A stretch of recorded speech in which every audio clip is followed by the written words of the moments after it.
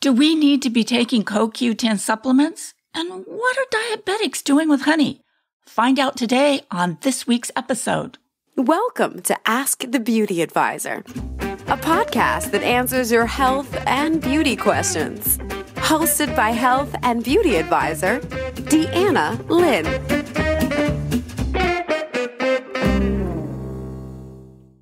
Hey there, welcome to Ask the Beauty Advisor. This is a podcast for anybody who loves health and beauty. It's also a great podcast for the beauty professional. I'm your host, Deanna, and I'm here to answer your health and beauty questions. And I'm feeling great today, so I hope everyone out there is having a great day and feeling great. I found a secret to explosive energy, which I'm going to be sharing with you soon, but not today. On today's episode, I'm going to be answering your questions about CoQ10, whether or not this is a supplement that you need to take, and how it affects the skin topically. I'm also going to be answering your question about honey. We're going to be talking about the health and beauty benefits of honey. You've got mail, Miss Lynn. Yes, I do have mail. I have two listeners' questions for you today. Let's see, who should I start with first? I'm going to read Jenny's question first. Dear Beauty Advisor, I have seen shelves of vitamins that contain an ingredient called CoQ10. I'm curious, what is CoQ10? How do you use it? Do I need it to benefit my health? I've even seen it in skincare. What kind of benefits or effects does it have on the skin? Would love to hear this topic on your show. Would love to understand exactly what CoQ10 really is. Now, Jenny, this is kind of a two part question. So let's start with what is CoQ10? CoQ10 is a powerful antioxidant and it's made by the body and is essential to providing our body cells with energy. Now, like everything else that our body makes for itself, as we age, the levels of CoQ10 go down. Levels drop both as we age and in health problems such as Alzheimer's, diabetes, cancer, Parkinson's disease, and heart disease. It's because of this association between the lower levels of CoQ10 and health issues.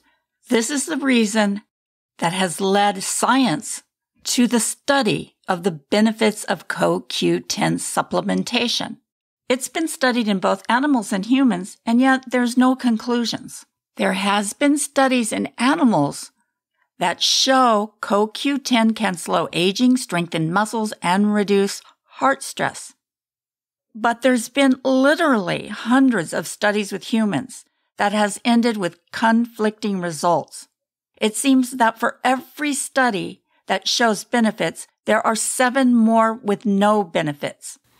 So I guess the real question here is, do you really need to add CoQ10 to your daily routine?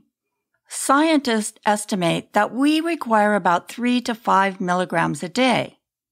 And about 75% of CoQ10 that we need is really manufactured by the body, and 25% comes from our diet. And the best sources of CoQ10 come from beef and chicken. There's about 3 milligrams in a 3 ounce serving. Fruits and vegetables, grains, and dairy have very small amounts. So if you are a vegan or a vegetarian, you may genuinely be low in CoQ10. Most traditional doctors are very reluctant in prescribing or recommending CoQ10 because it can actually interfere with medications for diabetics or high blood pressure.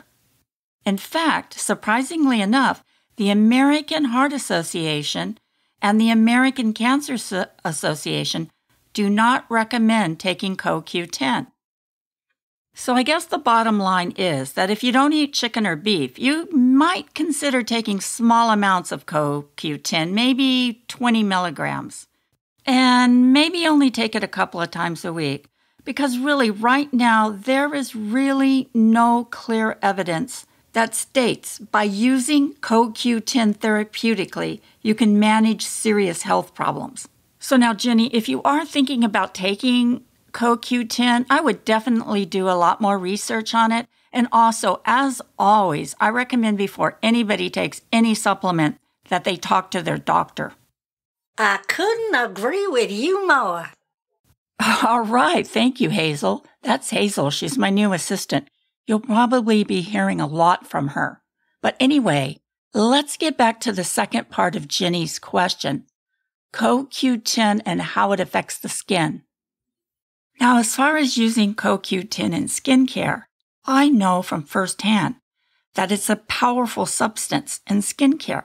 In fact, it's one of the very few ingredients that the skin can actually absorb. And studies have shown that it is kind of a sunscreen on steroids. Unlike traditional sun protection chemicals, it doesn't really absorb UV rays, but it acts as a shield that protects your skin and actually boosts the value of a sunscreen. But wait, there's more. It protects the body's natural collagen, and CoQ10 also spurs the production of fibroblasts, which are the building blocks of collagen. And I'm not finished. CoQ10 can prevent dark discolorations or dark spots on the skin. It brightens and evens out the skin tones. But CoQ10 is a soluble fat, which means it works the best in a rich, slightly greasy environment. So if you have oily skin or acne prone skin, CoQ10 is probably not the right ingredient for you. And if you would just try breaking open a capsule and applying it to your skin, it wouldn't hurt your skin, but it, there probably wouldn't be any effect. It needs to be in a rich base, which could trigger breakouts. After a day in the sun, it has the potential to undo the impact of UV rays, which are responsible for up to 80% of what we see as aging skin. So if you do live in a desert climate or a really sunny climate like Arizona or California, this ingredient could be beneficial to you to use all year round and not just on your face. Use it all over your whole body to protect your skin.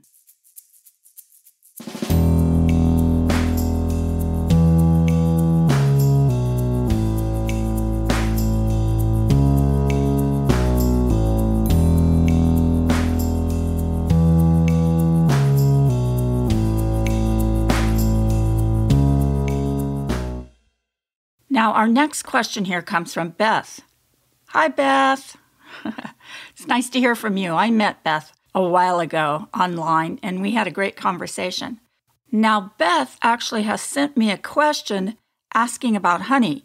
She wants to know if honey's okay for a diabetic to use for healing like cuts or wounds. She says her neighbor uses honey, applies honey to a wound, and her neighbor's a diabetic and she's a she thinks that's kind of crazy but she wants to know if honey really can heal wounds basically that's what her question is although honey and sugar is not something that a diabetic should be eating the idea of honey to treat a wound is a little bizarre to most people but actually honey is a century old remedy that can treat a wide range of skin problems honey actually has some amazing healing properties.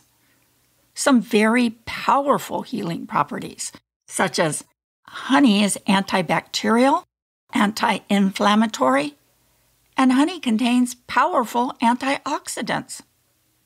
Honey has also been shown to produce or stimulate fibroblasts, which is the little fibers that hold the collagen and elastin together. But really, all honey is not alike. Some are more healing, like the darker honeys. They have higher levels of antioxidants. And by health standards, the Manuka honey is considered to be the most effective. Manuka honey comes from bees that dine on the Manuka bush. And it's this honey that's usually used for medical grade honey. To avoid contamination, honey that's used for skin management is usually treated with radiation to kill stray bacterial and mold spores. While this sounds hyper technical, Medical grade Manuka honey is available. You can get it on Amazon. My favorite way to use honey, besides drinking it in my tea, is to use it in homemade skin masks. You can mix it with egg yolk, you can mix it with yogurt, you can even mix it with a little cornmeal and use it as a scrub.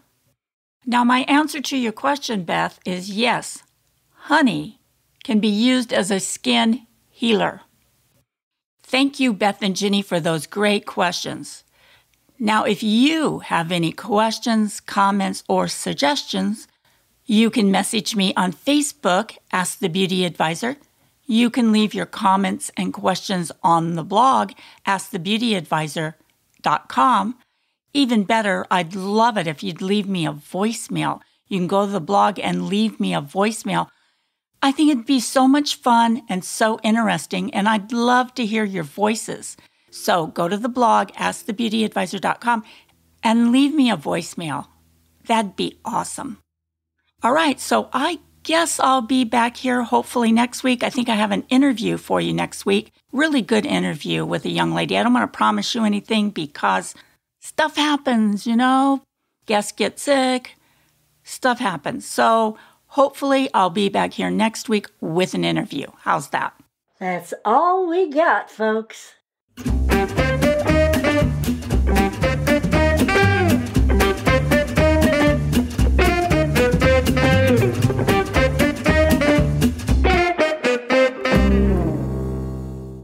Ask the Beauty Advisor is a part of the Beauty Radio Network. If you have a podcast or need help in starting a podcast and would like to be a part of a free, supportive network, then learn more by contacting Deanna at beautyradionetwork.com.